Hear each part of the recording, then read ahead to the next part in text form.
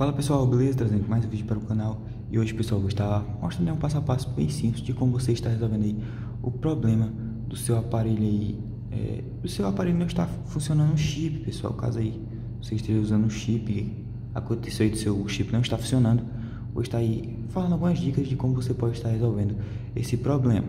Então pessoal, o que é que você pode estar fazendo? Primeira coisa é você estar aí reiniciando seu aparelho, pessoal, você reiniciando seu aparelho, ele vai reiniciar tudo no seu aparelho, até mesmo o chip. Aí você pode estar fazendo aí é, essa opção está reiniciando aí o seu aparelho, tá pessoal? A segunda dica aí que você pode estar fazendo para estar resolvendo esse problema, pessoal, é você estar aí removendo o seu chip, tá? E estar adicionando aí no seu aparelho novamente, porque pode estar aí é, pode também estar aí resolvendo é, do seu chip não está funcionando.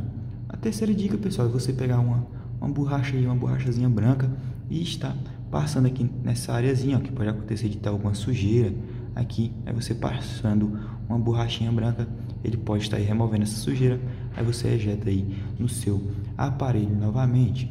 Ou pode ter acontecido aí também, pessoal, de você é, não ter colocado chip, é, chip não, pessoal, perdão, não ter colocado aí créditos no seu chip e a operadora pode ter bloqueado aí o seu chip, tá, pessoal? E por último aí, você pode também estar é, testando aí o seu chip em outro aparelho para é, estar certificando que é, não é a entrada aqui do chip que está danificada, tá pessoal? Então, é basicamente esse o vídeo, só falando aí algumas dicas de como você está aí resolvendo o problema do chip aí do seu aparelho não está funcionando, tá pessoal, no seu celular.